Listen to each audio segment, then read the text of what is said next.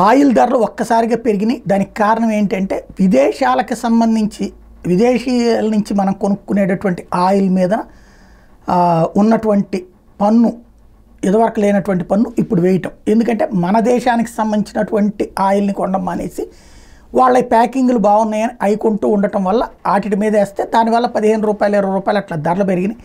ఇప్పటికే కనబడుతున్నాయి. అయితే అది స్వదేశీ ఆయిల్ తయారీదారుని స్వదేశీ ఆయిల్ పంటని ప్రోత్సహించడం కోసం తీసుకున్న నిర్ణయం ఇప్పుడు తాజాగా ఆయిల్ని కంట్రోల్ చేయడానికి దేశంలో తయారయ్యేటటువంటి ముడి చమురు మీదన ఇప్పటిదాకా ఉన్న విండ్ఫాల్ పన్నుని రద్దు చేసింది ప్రభుత్వం.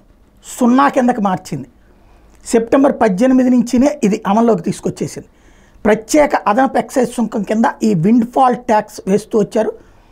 రెండు వారాల్లో చమురు సరాసరి ఆధారంగా మళ్ళీ పదిహేను రోజుల తర్వాతన ఈ పన్నుని ప్రభుత్వం ఉంచాలా లేదా అన్నది ఆలోచిస్తుంది.